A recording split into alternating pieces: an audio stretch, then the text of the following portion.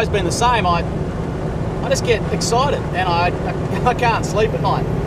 And even when I do get to sleep, I wake up well before the sun, just frothing to be heading bush on a new adventure, just getting back out and doing it all over again. I remember, you know, growing up as a young tacker, I would have been eight or ten years old, and we had a we had a motorbike back then, and my dad and I used to get on that motorbike with all our bits and pieces, and the dog, and we'd head off for a few days down the south coast fishing and exploring. And I didn't have any possessions back then. I was bloody eight, ten years old. I might have had a jumper and a cup and a pocket knife, but I'd put all those things into a into a bag and I'd put them next to my bed, keep an eye on them, make sure no one touched them, and I'd go to bed, try to get to sleep, wouldn't be able to sleep.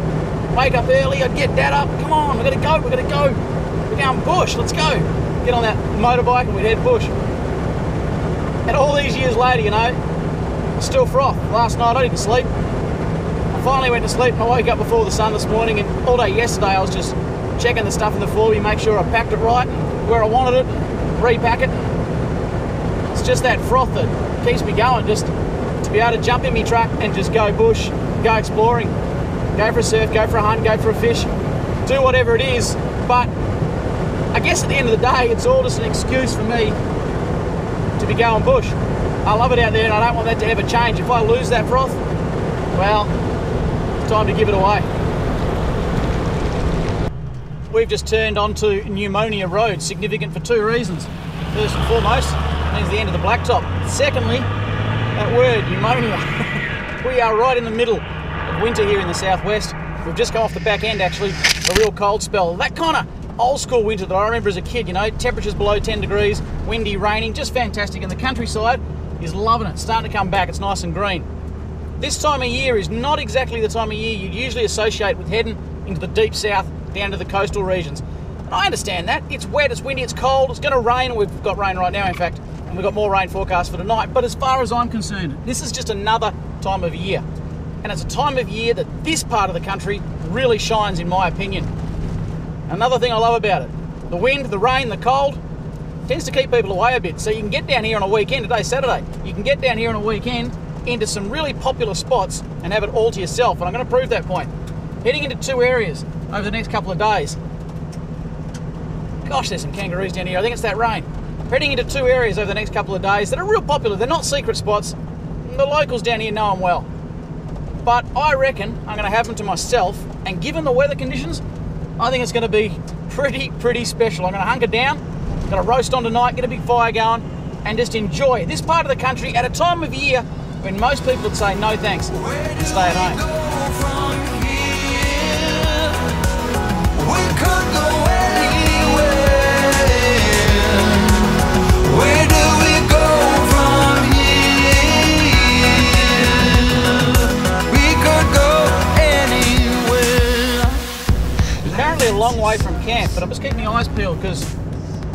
Side of the track, it's national park. On this side of the track, it's a wood collection zone, a firewood collection zone. So just keep my eyes open here because I know once I get into the national park, collecting wood, it's going to be a typical big old log down there, but it's on the wrong side of the road. I know once I get into the park, it's going to be a lot more difficult to collect wood, and I just want to grab some for tonight because it is going to be bitterly cold. So I'll grab some firewood before we even get started, I think.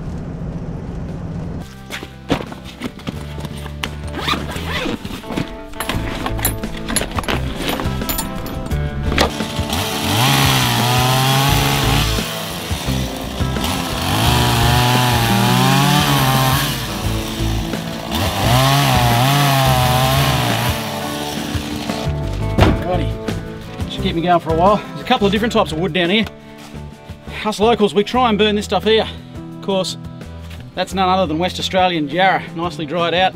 Burns long and burns hot. It's just a really good source of wood. Now the campsite I'm going into tonight does provide wood, but I'm planning on getting in. Look at that bad boy. I'm planning on getting in a little bit late tonight, so I'm going to use these just for my evening fire. I'm going to do something else for my cooking fire tonight, but it's always good to have a bit of Jarrah on board. That's cool. Let's get going. This is what I've been waiting for. Turning off that Pneumonia Road, high speed gravel. You get onto the sandy tracks now. Middle of summer, this track through here can be really, really soft. Oh, I've had some experiences. This time of year, middle of winter, we've had a significant amount of rainfall. I reckon you'd almost get it in two-wheel drive, but there are some sections where you've got to give it a bit of right boot, and that's when, if you're in two-wheel drive, you start to cut it up, causes corrugations. No way I'm to do that. So I've already let my tyres down. You don't need to see that. That's boring. I've locked the hubs in. You all know how to do that. I'm going to enjoy a drive in all through this track out here, you're going to find these big, deep puddles. Now, this time of year, some are deeper than others, some are quite shallow, but if you stick to the track, because the track gets a lot of use, it's generally the hardest part of the entire thing. And so you don't usually run into any problems. But I have been stuck out here before, so I'm not going to say anything just yet.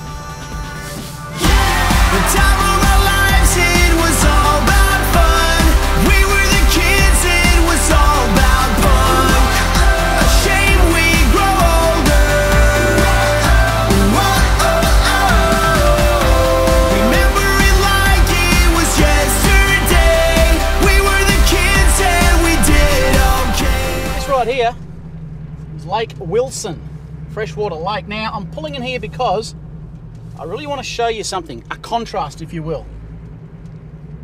Oh, look at this, will you? Geez, water level's up. This is fantastic. Check this out.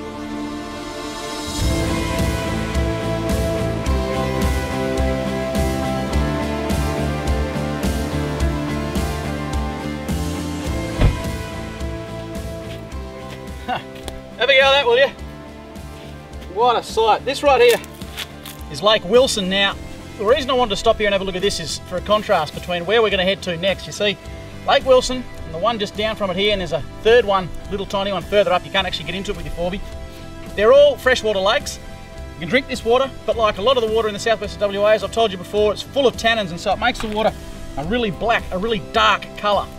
However, in amongst this is something really, really bloody special. If this wasn't special enough, wait until you see what I've got in store for you next.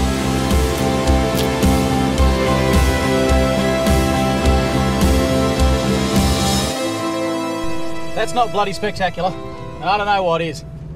Truly tremendous. Now, just for the record, folks, you're not allowed to camp at either one of those two lakes. You saw one on the drone footage and the one we just stopped at then. Officially, you're not allowed to camp there, but I have seen people camping there, especially during the summer months when this part of the world gets crazy busy. It's a beauty of coming down here in the middle of winter. Pretty much sure we'll have it to ourselves. There's a set of tyre tracks in front of me. Peak hour. It's got me concerned. There's one other track in here. A lot of trees down too. Look at this. Big storms we've had through here. But so far, so good. Let's keep plugging on.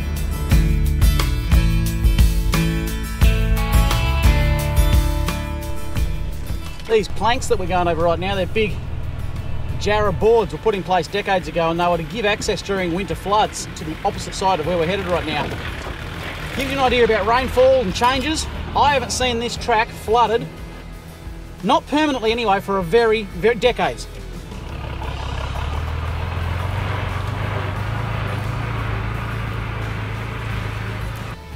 A bit of a log over the track here, which means no one's been through here for a while.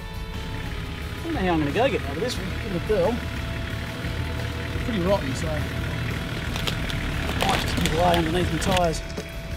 Yep. Beautiful. Oh, hang on, I'm not over yet.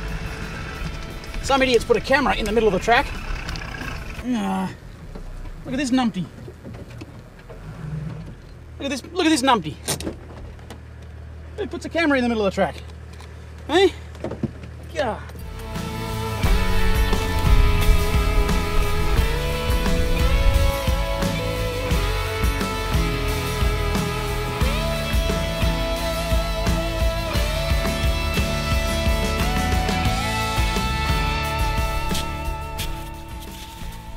Well, this little piece of paradise right here is called Lake Jasper. I've been coming down here for decades and decades.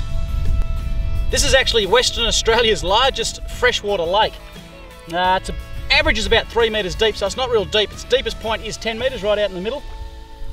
And unlike, what makes it so special is, unlike those lakes we were just at just to the south of here, this one is crystal clear. I'm the only one here. There's no tracks coming in. I've got this entire thing to myself. The weather's beautiful, a little bit chilly, but pretty good. If you ever get a chance, folks, honestly, get on down here and check out Lake Jasper. Bring a chair, put it right about here, make sure it's about 40 degrees, sit here with a cold beer, let the tin lids go nuts in there. Tell you what, Lake Jasper, she's an absolute pearler.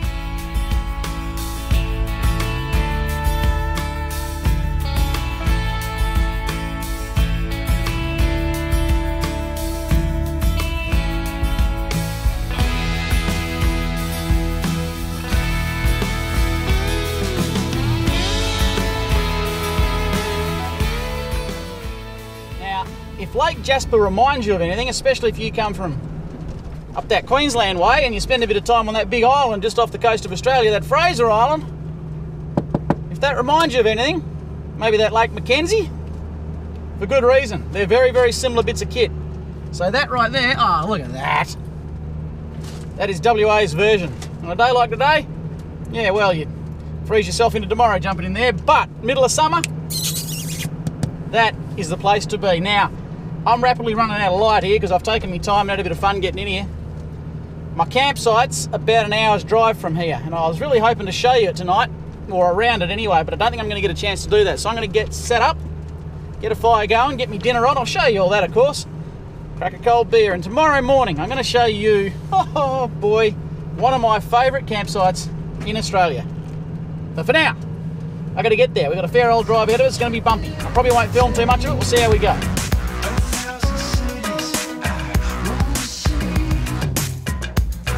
Bumpy old track this one. This would be as good a time as any just to do as I always do and remind you all that this is a 100% solo effort. There's no one else involved and so I got to thinking about that the other day over a cold beer as one does and I figured I haven't come up with a name for this yet. We're up to about episode 3 and I ain't got a name. And it came to me in a blinding flash. So ladies and gentlemen, a warm welcome to episode 3, a late warm welcome but a warm welcome nonetheless to episode 3 of Oz Solo. It's just me, that's the solo part, and with a bit of luck, we're going to go all over Australia together.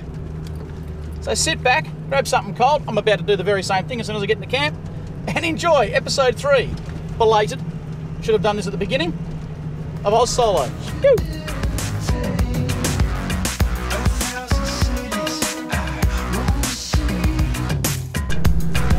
Whoa, look at that. Oh boy, that piece of wildness out there, that is Jasper's Beach. Now, I had romantic ideas of camping down there on the beach.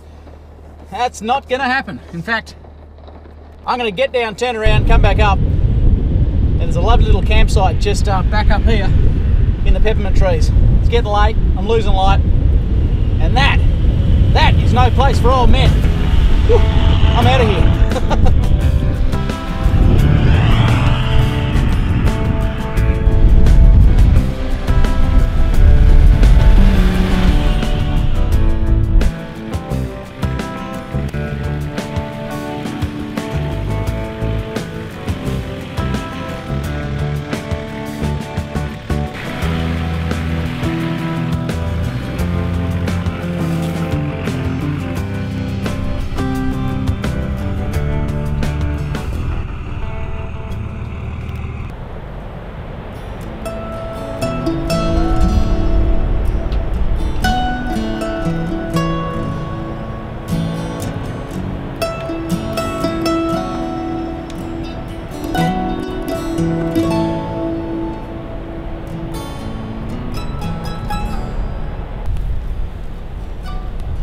that's not half bad. I'd like to formally apologise for not showing you the camp being set up, but heck, you've all seen camps being set up before, you didn't need to see that. Now, one of the issues I've always had getting into camp late on the south coast is the wood you collect invariably is always wet. We've had that much rain out here. Now, it'll go, I'm going to get a decent fire tonight, but I'm doing a roast tonight, roast chicken. And if I wanted to use the coals, oh man, I'd be sitting here for another two, three hours tops and then I've got another hour on top of that to cook. So there's a little trick I use whenever I come down here. I always keep it in the back of the truck so that I can get cooking regardless of what my fire's doing and still have a roast. And it's no rocket science, but I'll give you a look at exactly what that is when I finish my beer. Cheers, by the way.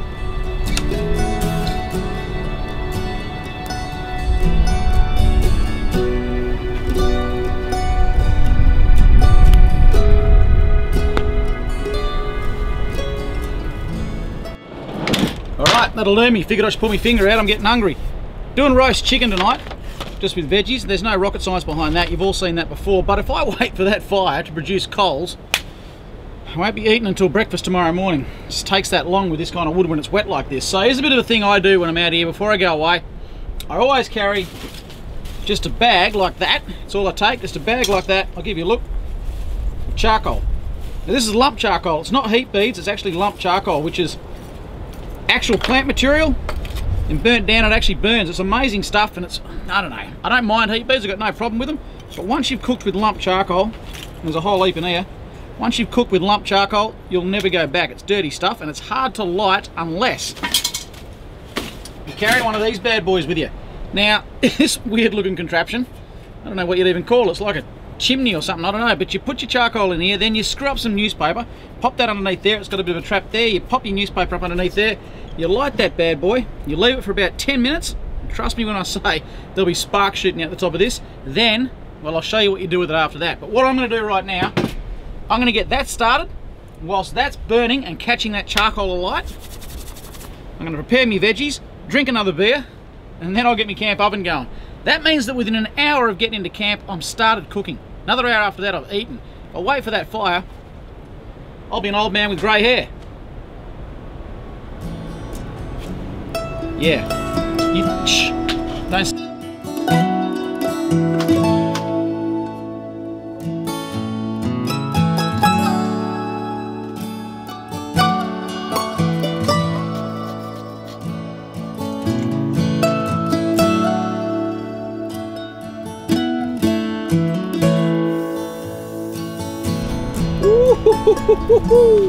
Look at that, mama. All right, that's been about 15 minutes, and I've preheated the camp oven just by putting it in there next to that. Whoa, it's some warmth in there. So what I'm gonna do now, I'm just gonna put just a few down the bottom here, nothing too special, just a few. Just on the bottom there. Might get that big bad boy out of there because I'm gonna use him. Spread them out, good pair of gloves, really handy. Gonna whack that on top that, get my handle out of the way, and then just tip the top on. Try and get most of it on there if I can. As you can see, there's some fairly serious heat there. I'll pop him back on top. You too, you're not getting away. Nor are you. Give that about an hour, and I'm ahead of the game. If I was to disturb that fire now and try and drag coals out of there, because the wood's kind of a bit wet, bit how you going, really be behind the eight ball. So if you want to speed things up, especially if you've got kids, you want to get to eating real quick, just take a bag of charcoal with you, grab yourself one of these bad boys, and honestly, one of the best investments you'll make. You can already, can you hear that? You can already hear that starting to sizzle. You probably can't over the waves and the wind, but that's already starting to go. In fact, I'm going to have to be a bit careful I haven't put too much heat on that. I'll give it half an hour and check it. Half an hour. About a bit. Ooh, boy and there's enough left for lunch tomorrow. I'm sorry I didn't do the unveiling, I don't believe in that. Now you'll notice that I've got two lots here. I've got an entire other serving in the camp oven, which is wow, really hot. That is for lunch tomorrow. I always do that in the bush so that when I'm moving around, I can do it real quick. I've got a 12 volt oven in there. I'll show you that tomorrow, maybe if I get chance. But everything there will go into the 12 volt oven tomorrow for lunch. Tonight though, I'm about to sit down in front of the fire and enjoy roast chicken and it is just starting to rain which if you ask me is perfect cheers folks. What a fantastic day. So stoked to be out here.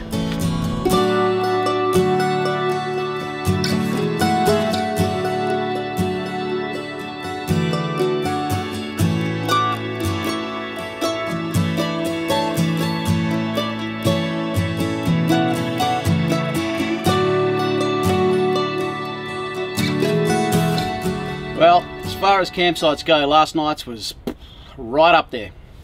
You know, I don't know what it is, but if you could somehow put into a pill or bottle all the different ingredients that go into a night's sleep out in the bush, you would make a bloody fortune. The sound of the waves, light rain on the old canvas there, a camp oven meal, a couple of beers, and then getting into my swag. I was out like a light and didn't wake up until this morning. Now, there's a light mist just starting down in the south coast this is pretty common first thing in the morning. It's not rain even, it's like a I don't know, like a drizzle, but it's more misty. Makes everything wet, it's a bit of a pain. Um, so I'm just going to sit back, have another cup of coffee, and wait for that to clear because when I get up out of here, off this, this is that Jasper's beach or Jasper's campsite, I'm going to turn and head up towards a place called Black And I really want to show you the view as soon as I turn to head towards that because it's next level. I can't do that while it's raining, so I'm just going to sit back, soak it all up. Well, that was a memorable night for a lot of reasons. All the conditions just came together. And one of my favourite bands just put out a new album yesterday and I picked it up before I left. So of course I spent the night just playing that. Absolutely sensational now today.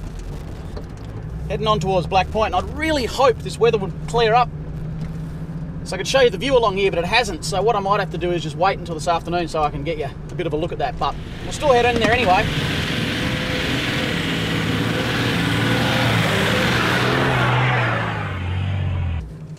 These sand tracks out here.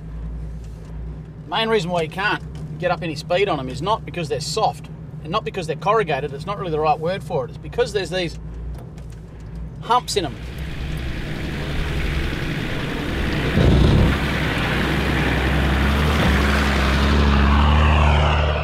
again you'll get onto a patch like this, you know, you're almost up into third gear here, and then you'll come around a corner and you'll have to come straight back down into second or even first in a lot of cases because you've got to crawl over these little humpty-doo things. I tell you what, they can get they can get a bit annoying, and when you hit them too hard, oh man, the entire canopy. Yesterday when I got into camp, there was shit everywhere. There was stuff upside down because I'd hit a couple a bit too hard because of course I was trying to get in before it got dark, which was a bit silly. Have a go at this little mess here, will you?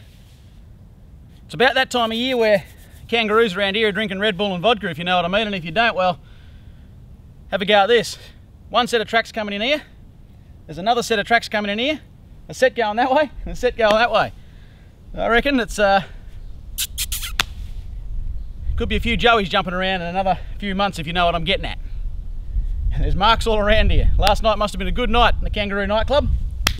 You! Little spot I'm so keen to show you down here. It's called the Stepping Stones, but we've got to go back a bit.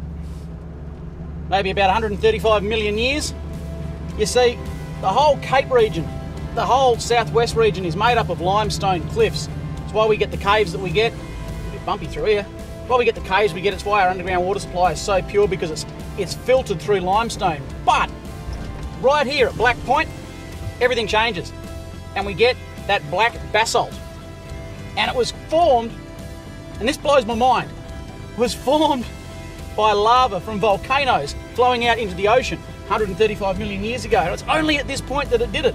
And that's why now we've got all of this black basalt through here.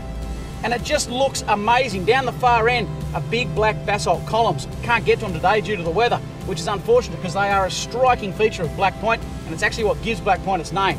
If you ever get a chance, I can't urge you enough to get down here and check this place out for yourself. It is truly spectacular and utterly unique. I'm gonna go down for a bit of a wander around and have a look.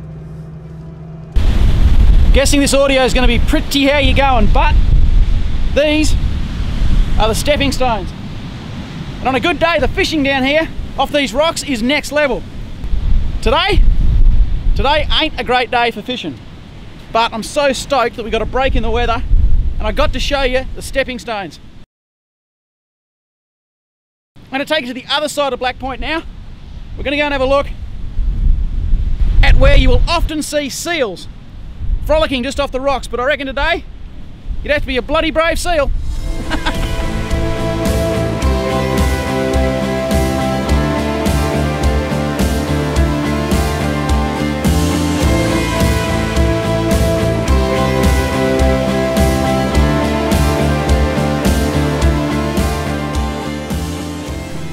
How spectacular is that, eh?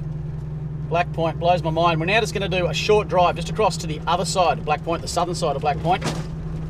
Might be a bit more protected over there, we'll see, I doubt it. Little spot over here called Surfers Cove.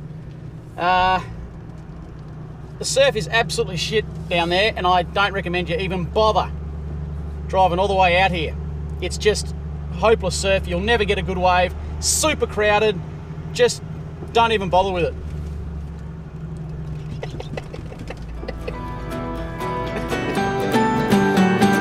20 nights and 20 days, I was drifting out of space. I turned away from every sound, from everything that shook my ground. Well, that was bloody close. Flew me drone directly into a cliff. I managed to climb down and I looked across to my right and it was sitting directly on top of a bush, so I got out of jail there. No damage to it, apart from to my ego. Whew, I'm knackered. As a drone pilot, I should stick to four-wheel driving. oh, shit. okay, Black Point. When I was a youngster, I was fishing out there, nearly fell off a rock. Would have landed me in the water about 100 metres below. Probably would have died. Nearly died surfing out there once. Got held under for too long. and now, nearly slid down a cliff face trying to get a drone back. Maybe I ought to stay away from Black Point for a little while. Nah, nah, nah, nah, nah. I love that place. And if you ever get a chance, folks, honestly, get out and check it because it is super unique on this stretch of coast to have that rock formation out there, those stepping stones, that black basalt. Folks, the facilities at Black Point are second to none. They've done such a good job down there. Back in the day when I first started coming down, we just used to camp under the peppy trees or down by the beach there. There was nothing down there. And I think it's a good thing that they're putting facilities like that in because it means that people are taking pride in that part of the world. There's zero rubbish down there, none.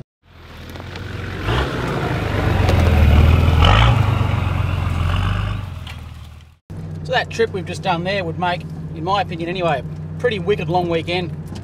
Even out of Perth, if you put in a bit of a day on Friday and got down here, a couple of nights down here and you'd really get to explore the area. Probably wouldn't recommend it in winter if you're not prepared just to sit it out like I was. You want to try and maximise your time too, summer definitely is the time to come down here. But pick your weekends. She gets busy, real busy. If you can, get down midweek in the off season and really explore. Wonder where that track goes. Really explore because there's some spots down here that I haven't taken you to yet that are just as good, if not better. The Black Point, Lake Jasper, get in, have a look at it, stay a night, stay two nights, heck, stay a week. See if you can't catch a fish and enjoy the very best of the southwest. For me, however, this bridge right here signifies exactly where I turn off. See, I'm going to head inland. I'm going to spend a couple of nights up on the Donnelly River. So, that's it from me. Thanks so much for coming along. Might see you again on the next one, eh? For now, you remember, work to live. Maybe living to work. That's a mug's game.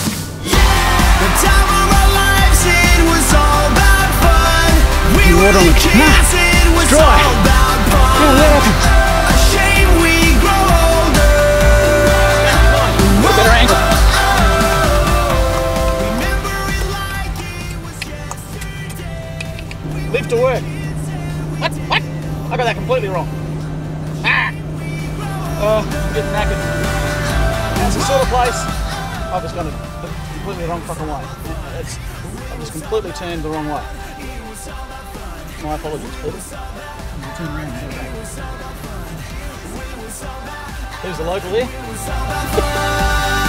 Oh yeah, you're still on, aren't you? Always watching me, you are. Go on, get out of here. Go on. We were the kids, it was all about fun.